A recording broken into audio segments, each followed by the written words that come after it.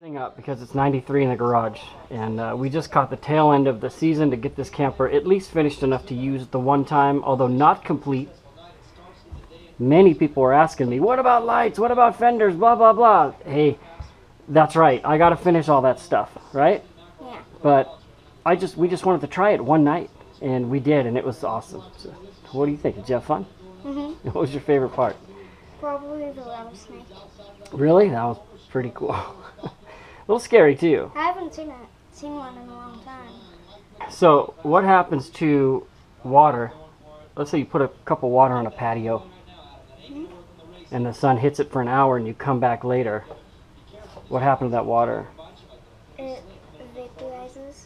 That's right, it vaporizes or evaporates. Oh, You've been watching too many of these science shows. Maybe that's a good thing. So, this is called an evaporative cooler. Some people call it a swamp cooler. The reason why they call it evaporative cooler is because there's a water curtain that drips water let's show the water curtain. Oh, that's probably a good idea. Thanks for producing our show here. So we're going to show the water curtain in action. That's the fan. It's the fan sucking the air to blow it out this side. And then that's low on the fan. Let's do the water curtain. And the water is evaporated a little bit into the air and it cools the air and spits it out here nice and cool. So that's why they call it an evaporative cooler. Does that make sense? Yeah. So now we're going to put this back in here. Do you have any idea why they call it a swamp cooler? No, actually. Well, this water that sits in this reservoir here, actually this goes in right, it just sits in there, right?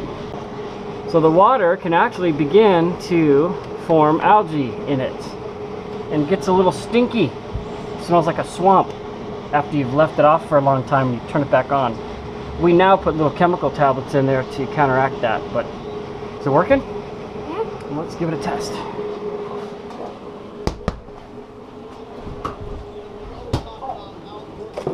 Okay, it is 91 there. 77 and we just fired it up 76 so yeah you should get about a 25 degree drop when a swamp cooler is working good and it's nice and dry out. So it's not competing with the moisture. All right so we're gonna get back to work. Here we go. Good afternoon everybody. It is Sunday the 5th about two fifteen, and uh, we're just coming back out here after last weekend. Hope you guys all enjoyed the camping, our inaugural camping video. It was definitely a lot of fun. We were really excited.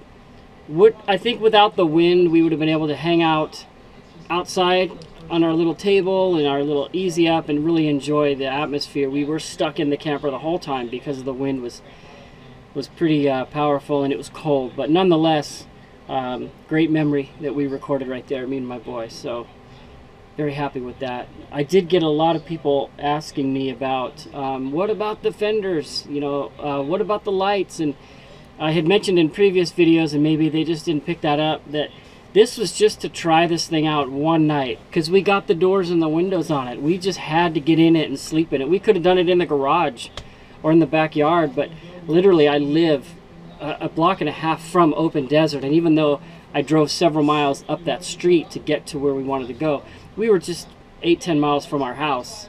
Um, and we were fine. You know, we didn't see anybody. I think we saw one dirt biker up there, and it was Sunday night, so it was not going to be anybody out. A lot of fun. Had a lot of fun that night. So there's still so much to do. Um, I'm having an issue with the bearings. Uh, some of you guys in the last video saw that I had I had mated um, the bearing from an aftermarket hub with a bearing from the Harbor Freight hub to try to get rid of um, a lot of play that I could not get out, even if I tightened that axle nut all the way. There was still a lot of play, and I was able to tighten it to where you couldn't move the wheel and back it off till it was free with no play. Well, after driving it around for a little bit, I'm stuck now because if I rotate the ax the axle nut one turn to get to the next hole for the cotter pin, it becomes too tight.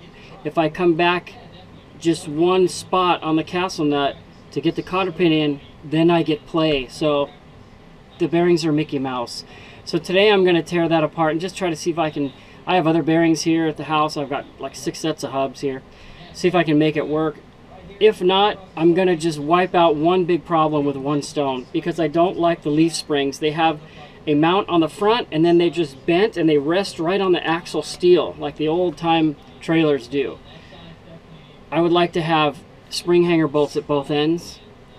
So for like 150 bucks, I can get an axle that'll take the five lug hub, no play, bearings will work. I can weld in new spring hanger brackets, put all new stuff under there. I can move the axle back. I could go back, I think I'd go back about six inches uh, just to make the weight distribution a little more forward since I have stuff hanging off the back. And it would give me the option to put another rack off the back for firewood and stuff. Probably going to be the way I go. Even though in the very first video I recorded last September, I said we're going to do the cheapest, the easiest way. Here we are. So, also, uh, a couple things. You know, I picked this up a while back when I was intending on doing a sink, and you can see how it works in this little clip here. Uh, it's meant for boats. You know, you go into the head and there's like that little sink you pump and you wash your hands. This would be perfect somewhere. I kind of wish I would have made this area bigger, more far forward for a deeper sink, etc. and a tank. I'm going to figure this out eventually. Today, I'm going to hang this light that's going to go on the driver's side of the camper. As you saw in the video, there was just wire hanging there because I needed one more. I'll get that done today. This stuff right here for all the lap joints on top, where the vent is up here, I'm going to go ahead and squirt the stuff all around the edges and around all the screws. This Dicor self-leveling stuff is the best for that on the roof.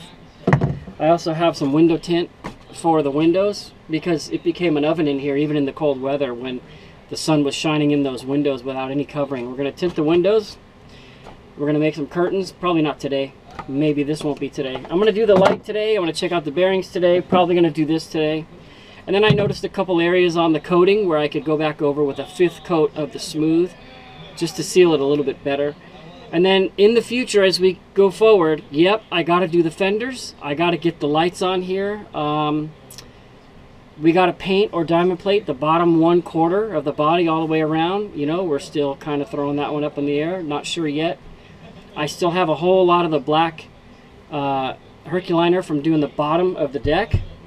I could just easily knock out the bottom of this thing in black like the picture.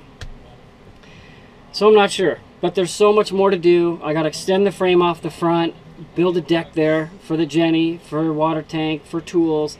Again, dropping the weight forward. So there's a lot to do. We are going into the heat season now, the hot season here in the desert where it's already 93 in my garage. It's the hottest day in the garage since we started this in September. So we got the little swamp cooler going and uh, I intend to increase the cooling capacity in the garage by getting another swamp cooler that actually works the whole area and I can close the garage and set some lights up and do what I need to do. Anyway, that's about five minutes of talking. Uh, enough said. I hope you guys all enjoyed the videos. Somehow in the last week, like 60 people subscribed, so welcome aboard everybody. It's kind of cool to see so many people that that uh, like this little project stuff. I know I like watching other guys' project stuff, so if you're doing one of these or anything like this DIY homemade stuff, do a vlog so we can all watch. Love to see more of this stuff at home. So here we go.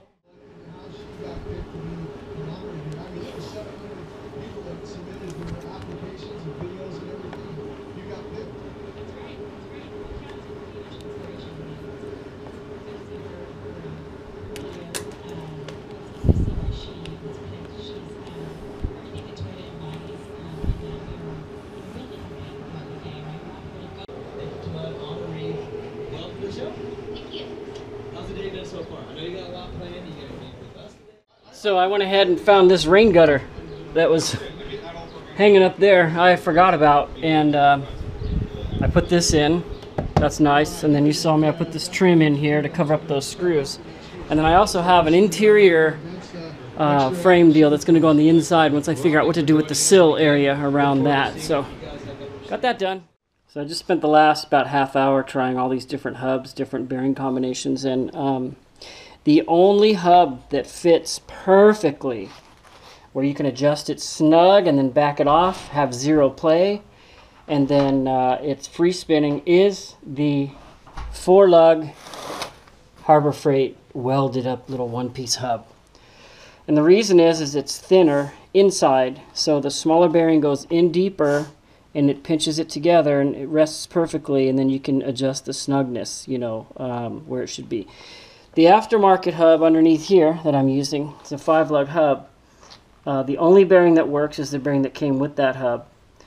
But the problem is is this hole that you put your cotter pin through if this were 25% further around then this hub would work. But if I go all the way snug where it's just a hair too tight, no play, and put the cotter pin in, it's way too tight. If I back it off one little notch in the castle nut for the cotter pin, it's nice and free, but then it's too loose. So there's just, there's, there's no happy middle ground. So what I'm going to do temporarily is put a washer on this side of the castle nut, hoping that the little notch for the cotter pin ends up in a different space, in a different place with that little extra width. That's going to be my temporary solution. So uh, makes a lot of sense that maybe I should have started with a bigger, beefier trailer. But I thought I was in love with the idea of this little $200 Harbor Freight trailer, and let's let's turn this thing into something cool. And it's going to be cool, but um, for me to feel good about it and to tow it on long distances, like I'd like to go to Mammoth, I'd like to go to other places, I don't want to have to think about Mickey Mouseness. So that's it for Saturday.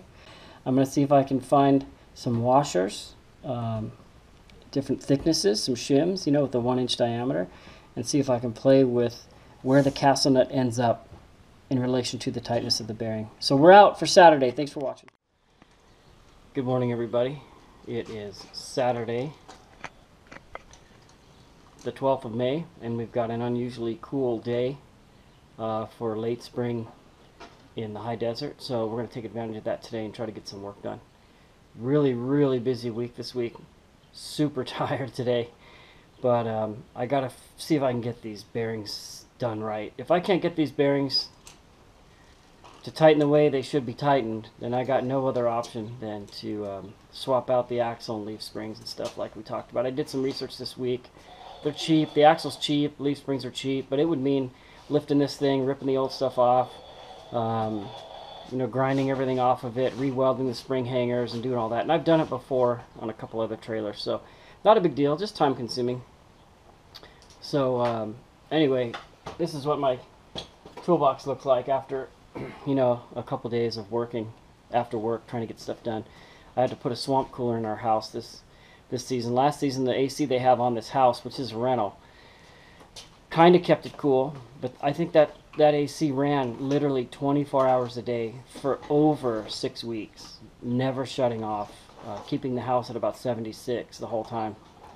Uh, it was a little expensive, and I've got a lot of experience with evaporative coolers, swamp coolers, like the one we just you just watched me and my kid set up for last weekend here when it was hot in the garage. Now it's only in the 60s, so it's really nice. So here's a couple pictures of that project. Ripped out a window, stuck it in there, and uh, the thing works like a champ. Turn it on in the morning, keeps the house at about 73 when it's about 95 outside, so it's working good. Anyway, so enough of that talking. Today I'm going to see if I can get these bearings set up right, and we'll just go from there.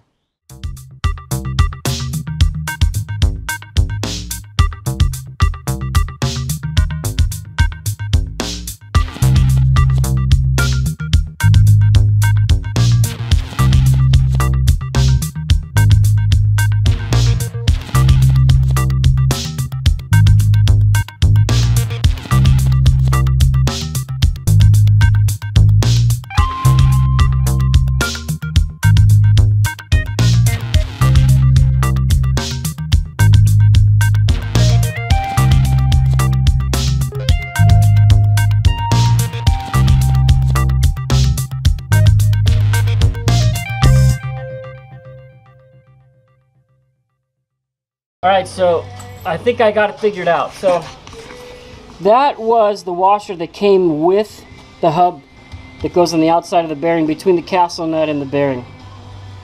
I bought this extra one. This is thicker than that one, and this one's thinner than that one. So the first thing I tried was I used the stalker and I backed it up with this thinner one, and it was better, definitely, but the, the, the nut was still really loose. I just didn't like that. So I took off the stalker took off the thick one and I put just the thin one so I got an extra turn out of it and the nut ends up getting snug and then it lines up perfectly and there's absolutely zero zero play in there at all and and it spins really free. So now I'm going to pack it full of grease throw her back together and tackle side two. So I'm just eyeballing the fenders right now. Um, got the bearing deal solved. Took four or five tries each wheel back on and off on and off but the bearing mystery solved uh, zero play, free spinning, worked out. Okay, so first we're gonna get the trailer level. See, right there. And then I'm just gonna eyeball these. And then, hey buddy, what are you doing? That's cool. And then, didn't see that there, did you? No. And then we'll get these level, see? You know, we'll play with these until we can get these puppies. That magnet's strong. And then somehow we're going to fix those in place. They look a little small to me. I mean, they're doing the job there, right? I guess I don't want them too big, so we have clearance to get in the door. And then I want to have some kind of shelf back here. Put my toolbox right here. Uh, put water right here, something else right here.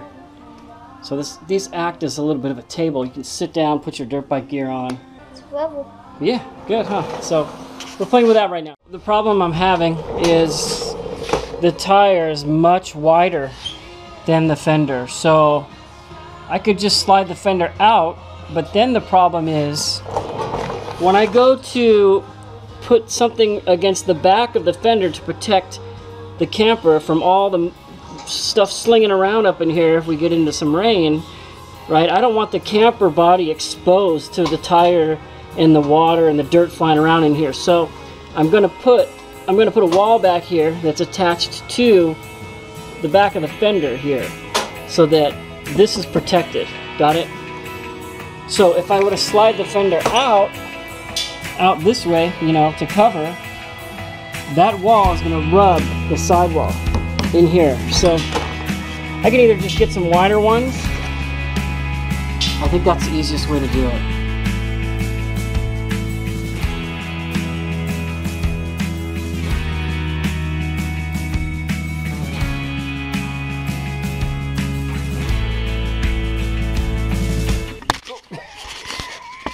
Almost fell off the back.